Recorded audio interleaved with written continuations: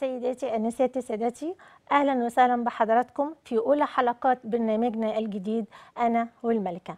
برنامجنا اليوم برنامج مميز ومختلف عن باقي البرامج. ليه؟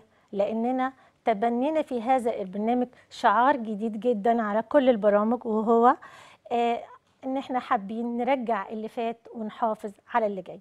علشان كده حضراتكم لو تلاحظوا إن أنا بدأت بداية افتقدناها جدا من زمان وهي بدايات المذيعات اللي إحنا كنا دايما بنشوفهم في أيام الزمن الجميل اللي إحنا حابين في البرنامج ده إن إحنا نرجع صفاته ونرجع أيامه الحلوة ونجمع أسرنا على المحبة والصداقة والحب اللي إحنا افتقدناها كتير جدا هذه الأيام لأسباب أسباب طبعا هنتكلم فيها من خلال الحلقة. نتمنى إن برنامجنا يكون مختلف عن باقي البرامج ويحوز على إعجابكم وتقضوا معانا دائما أحلى الأوقات الممتعة. ومش بس كده إحنا أكيد بنقدم فقرات مختلفة في البرنامج فقرات تثقيفية وترفيهية وفقرات بترجعنا لزمن جميل والعصر جميل علشان إحنا عايزين نرجع أجيال جديدة وأفكار جميلة افتقدناها منذ زمن بعيد. حلقتنا اليوم أعزائي المشاهدين بتتكلم عن تغير العلاقات الاجتماعية واختلافها.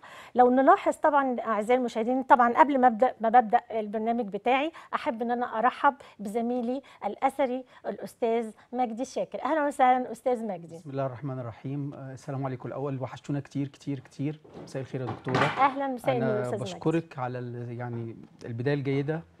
وان إحنا دايما زي ما بيقولوا لمصر يعني دايما بنميل شوية مش للماضي ولكن بنميل دايما للأصول والقواعد. أكيد أكيد يا أستاذ مجدي. دايما إحنا بنحب نرجع للماضي ولما بنحب يكون عندنا ذكريات حلوة ونعيش أيام جميلة ونعيش أفكار حلوة بنرجع بالذاكرة للماضي بنرجع بنحب إن إحنا نتفرج على أفلام قديمة برامج قديمة نشوف حاجات قديمة. ليه؟ بنحس إن إحنا بنخرج من ضوضاء العصر اللي إحنا موجودين فيه الآن إلى أيام جميلة. وده هدف برنامجنا إن إحنا عايزين نجمع كل أسرنا على المحبة ونجمعها على الأيام الجميلة. طبعا مع الحفاظ على عصرنا الجديد وإنجازاتنا الجديدة بقيادة طبعا سيادة الرئيس أطال الله عمره وحفظه الله إن شاء الله لمصر.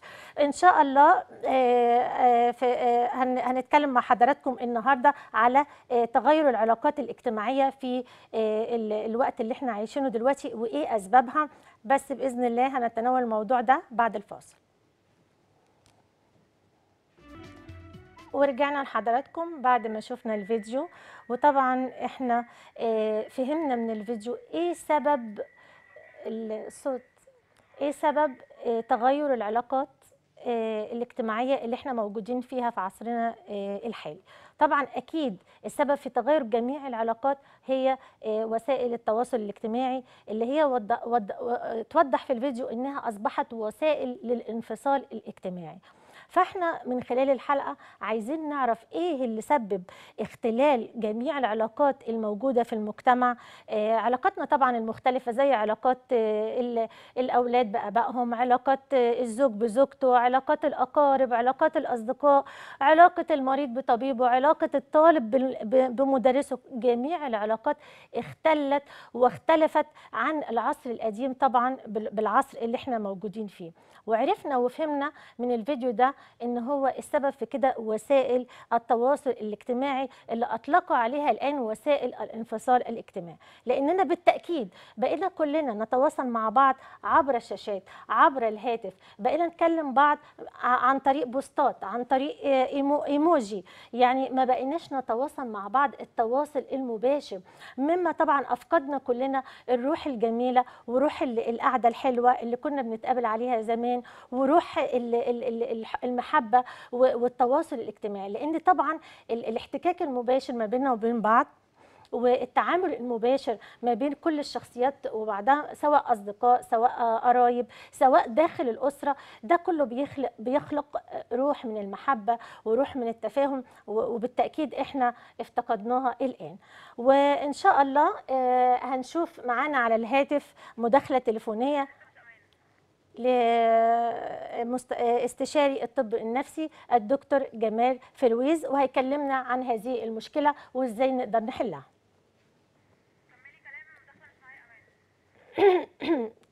طبعا إحنا عاوزين نعرف آه، من الدكتور جمال إيه أسباب تغير هذه العلاقات وانهيارها ونبحث طبعا مع الدكتور على طريقة حلها وإن إحنا نغير هذه العلاقات للأفضل بإذن الله. آه، معانا على الهاتف الدكتور جمال. ألو دكتور جمال فرويز استشاري الطب النفسي. أهلا وسهلا. أهلا ازي حضرتك. أهلا بحضرتك يا دكتور. منور برنامج أنا والملكة. ربنا يخليك وألف مبروك وإن شاء الله دوام الرقية كده بإذن الله. ميرسي ميرسي ليك يا دكتور.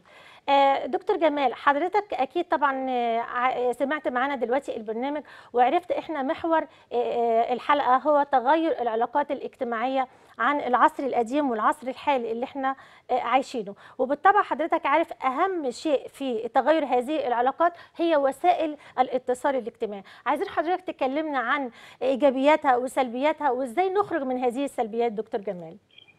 بص يا فندم بالنسبة لإيجابيات وسائل التواصل الاجتماعي هي عبارة عن ربط ما بين الناس وبعض. ناس ما بتشوفش بعض على مسافات طويلة ناس ما بتشوفش بعض من فترات طويلة دي كانت فرصة ليهم انهم يرتدوا لبعض تاني ويرجعوا لبعض تاني يكلموا بعض يتناقشوا مع بعض ناس بتناقش بعض مشاكلها بعض ال- المواقف بتاعتها بتعرضها وده كان أحدى الحلول ليهم إن هم يدخلوا على مواقع التواصل الاجتماعي أيوه يا دكتور ولكن للأسف الشديد هي ليها بعض المساوئ اللي تصل لحد إن إحنا ممكن نطالب بإغلاقها في يوم من الأيام. بالظبط يا دكتور اولا. آه، هنتكلم الأول على الهاردوير نفسه الأجهزة اللي الناس ماسكاها. شايفة إن شيء عادي إن أنا أمسك الموبايل فترات طويلة. ما يعرفوش إن دي موجات كهرومغناطيسية بتأثر على القشره المخية. آه. للأسف الشديد بعض الناس اللي هم عندهم عقدة لمرض الصرع أو مرضى الصرع فعليا أيوه دكتور. زادت الحالات عندهم بصورة مبالغ فيها بسبب استخدام مواقع التواصل الاجتماعي والقعد عليها لفترات طويلة.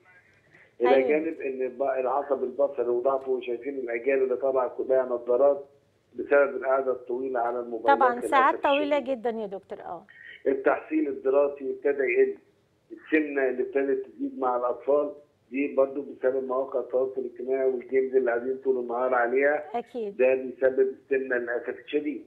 أكيد إلى جانب بقى سوء استخدام مواقع التواصل الاجتماعي ابتدت موقع للتنمر ابتدت موقع لتبادل الآراء للأسف الشديد كل واحد بيفقد آراءه الشخصية على الآخرين بصورة مبالغ فيها. فبنلاقي مجموعات للبنات مجموعات للولاد.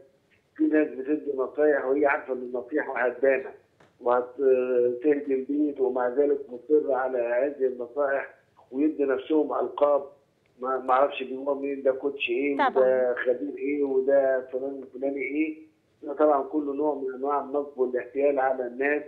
للأسف الشديد أكيد اللي بيستغلوا بعض الناس اللي بتديهم أسرار ليهم إن في بعض الناس تتكلم إن هم أطباء نفسيين أو خبراء نفسيين والناس بتثق فيهم وتديهم معلومات غاية في ال- السرية للأسف بيبتدوا يقيدوهم عليها بمبالغ مالية ومستفاد كتير جدا. أه. فناخد بالنا هذه مواقع التواصل الاجتماعي ليست محل ثقة. الناس اللي أنت بتتعامل معاها ناس افتراضيين.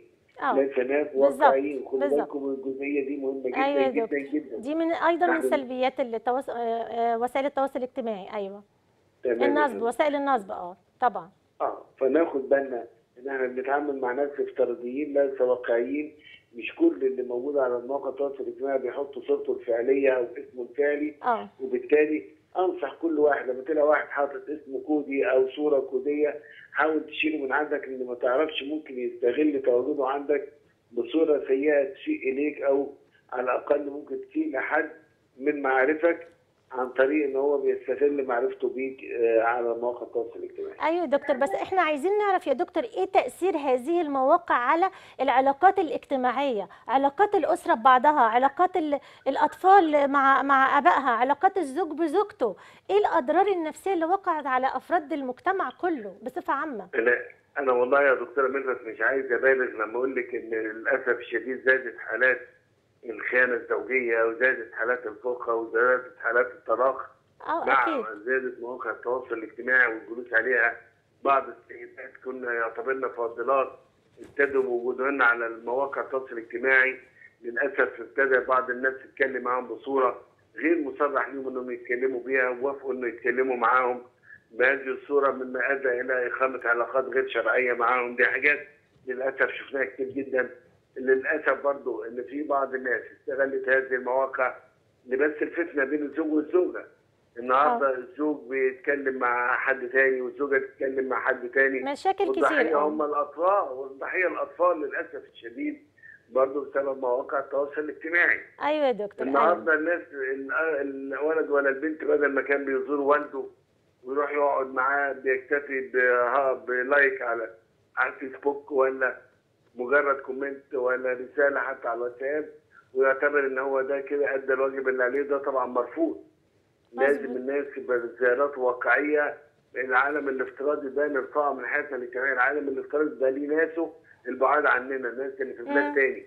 ولكن في نفس المدينة أو في نفس الحي لازم تبقى زيارات واقعية ونحاول نخلع شوية من مواقع التواصل الاجتماعي ونرجع لحياتنا العادية البسيطة آه. إحنا الشعب المصري بثقافتنا المصرية صح. نرجعها مرة تاني. آه طبعا. وده وده هدف الهدف من البرنامج يا دكتور؟ إن إحنا عاوزين نرجع اللي في ال- الماضي ونحافظ برضو على إنجازاتنا الجديدة. بس عايزين ناخد من التقدم الحديث ووسائل التكنولوجيا الحديثة ووسائل التواصل الاجتماعي إيجابياتها ونبتعد تماما عن سلبياتها. ربنا يوفقكم طبعا. آه. دي رسالة. مهمة جدا جدا جدا وده أمن قومي.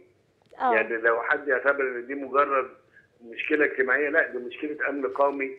رجوع العلاقات الاجتماعية لرشدها علاقة الزوج والزوجة الأب والأم الأب والأم والأولاد الأولاد مع بعض الجيران مع بعض الأصدقاء مع بعض.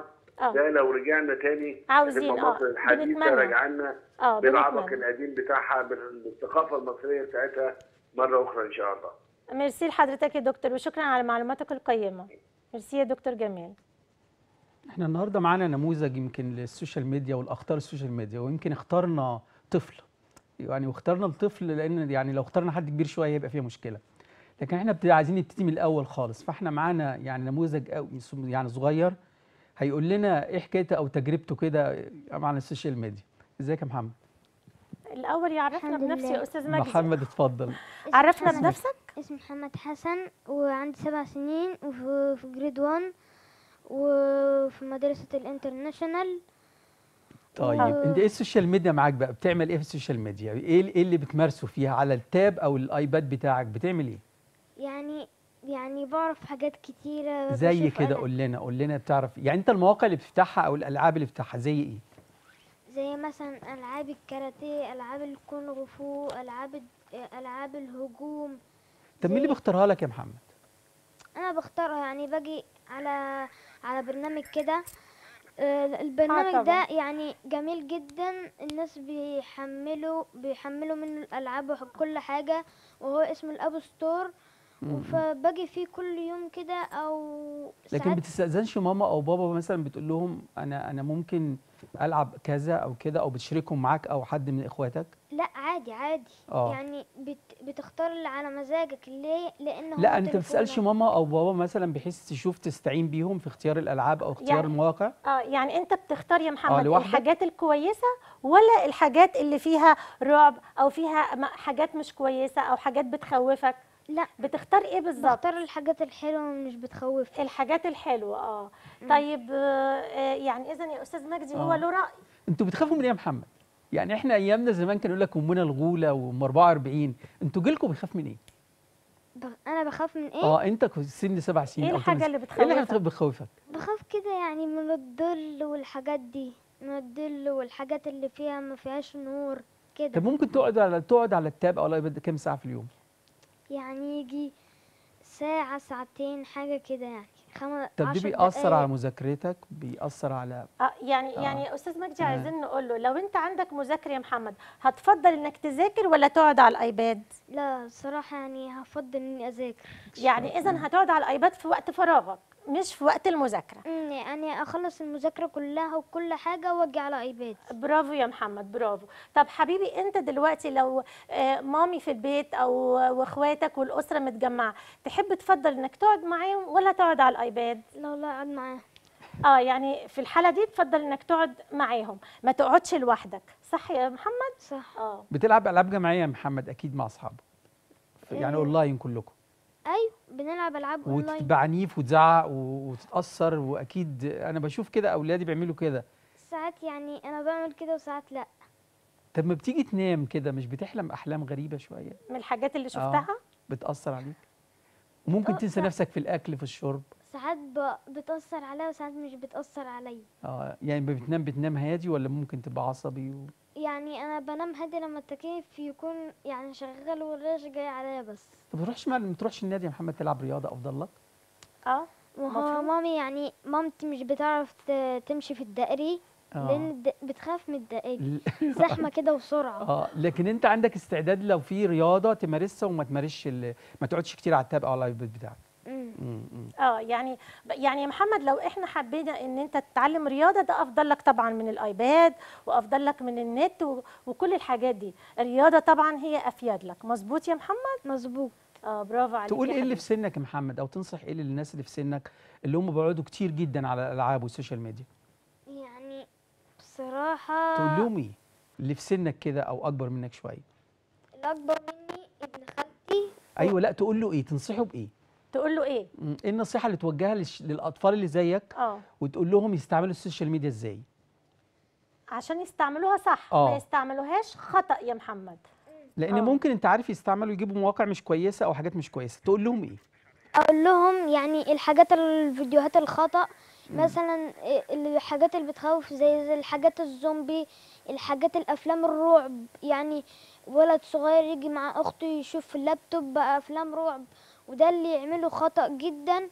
وكمان يعني ي- ي- لازم هو يعني بيستحمى بمية سخنة كده لازم أ- أ- بعديها يعني يشرب مية ساقعة عشان المية السخنة. يعني المية كده وهي جاية جوه جسمه يعني تبرد جسمه شوية كده من آه، السخونية. آه، آه. آه بس في موضوع النهارده يا محمد إحنا قبل التصوير قلت لنا أنا عايزة أتكلم في موضوع مهم اللي هو موضوع الحكمة. يا ترى إيه بقى موضوع الحكمة اللي أنت نفسك تقوله؟ موضوع الحكمة اللي نفسي أقوله يعني آه، الحكمة معناها مثلا لو فريق وفريق بي بيتحاربوا يا الاتنين بيتحاربوا وهما بيتحاربوا كده فجأتها يعني يعني المكان حصل فيه حريق. أيوه.